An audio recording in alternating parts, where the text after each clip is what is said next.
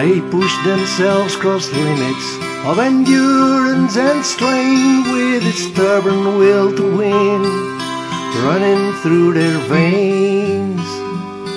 Together with their dog teams, they'll go until the end, all depending on the loyalty of man's best friend.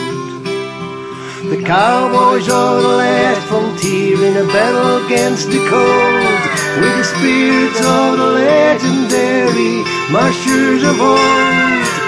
Indians in red and white, women, dogs, and men, pay tribute to the heroes who built this rugged land. In a tribute to the heroes who built this land. Cold frustration, frostbite, pain, and. Miles and miles of loneliness where a day feels like a year.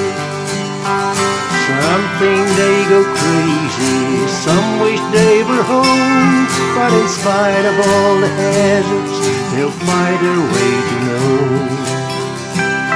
The cowboys are the last frontier in a battle against the cold. In the spirit of the legendary marchers of old.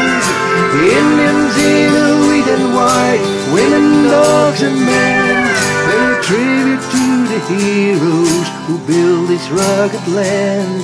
In a tribute to the heroes who built this land.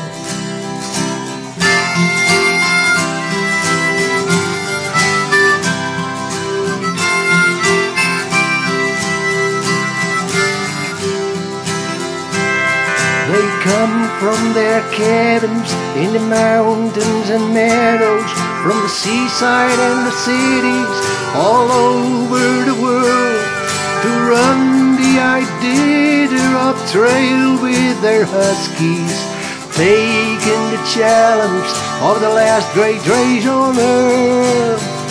It's the farness, the freedom, the love for this land, the silence and that make them go again.